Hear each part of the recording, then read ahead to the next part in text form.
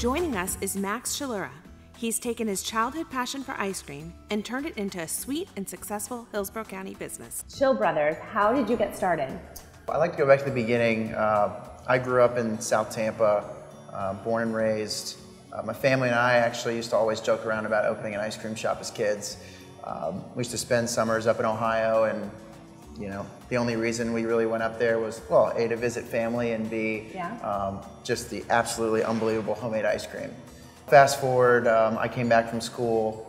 Um, you know, still no ice cream like like we dreamed it up, Right. and um, kind of made the decision to, to go after it and, and really make a, a scratch-made homemade product with a with a location that's accessible to the whole neighborhood and community. Speaking of community, where did it get started? Where was your first location? So the first location, uh, romantically, was in Ybor City, uh, which is where my uh, my grandparents are actually from, and probably my great grandparents as well. Yeah. Uh, we opened up there right on Seventh Avenue.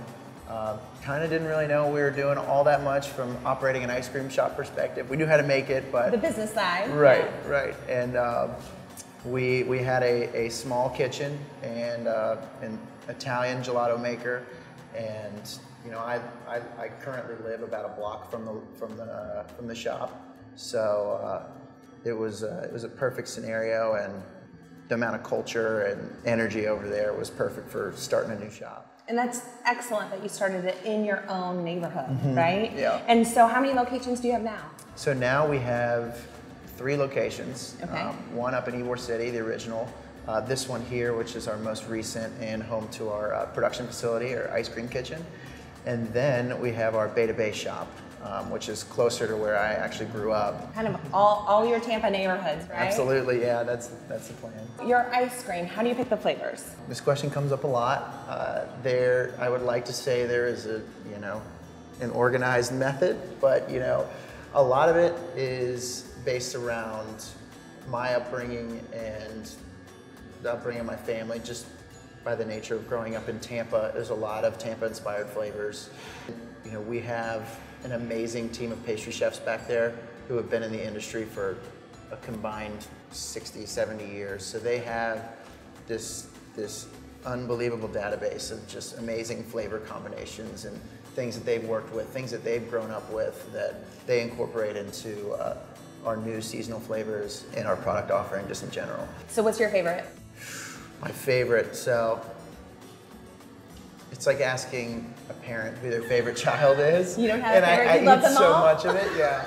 Um, I will say Chef Amy, uh, kind of from start to finish, designed our, our lemon bar flavor, and that's seasonal right now, but that was like a spiritual ice cream eating experience when I first had that. That's good. So- And that- you use very, very good adjectives to describe the, the ice cream experience. What's your most popular flavor? The most popular uh, is the Double Down Oreo.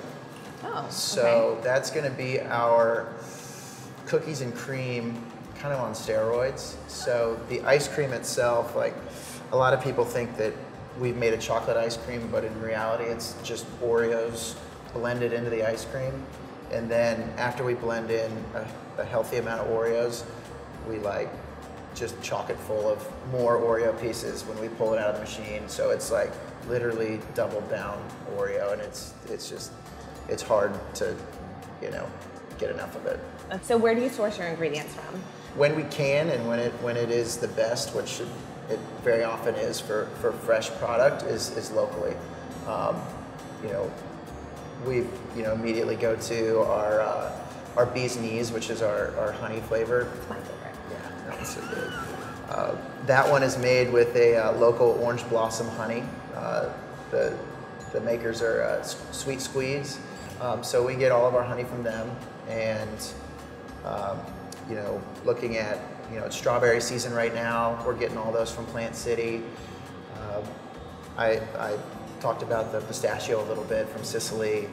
Uh, Madagascar vanilla beans, you know, can't grow those in Florida, but we, we get them from Madagascar, which is, you know, top-notch stuff. I think that might make the difference. Absolutely.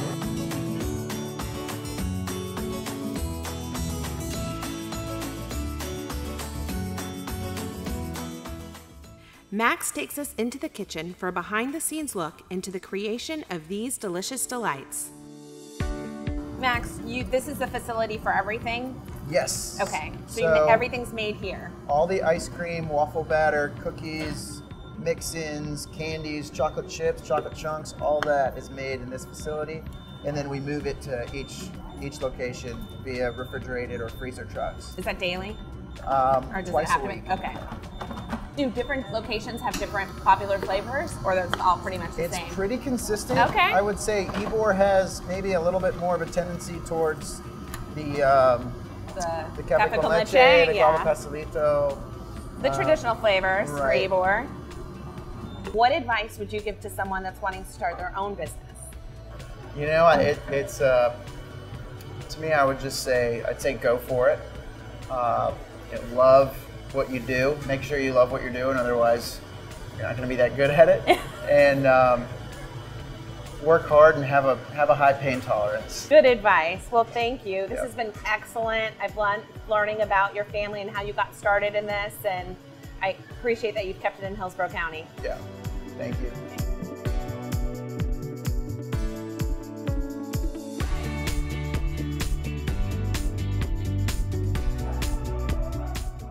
Now that's a scoop on another local business, Chill Bros.